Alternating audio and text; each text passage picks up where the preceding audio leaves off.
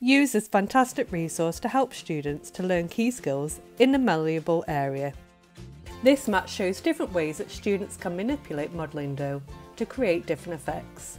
The mat has different words that list the ways modelling dough has been manipulated and includes real life photographs so that students know how to use these skills themselves.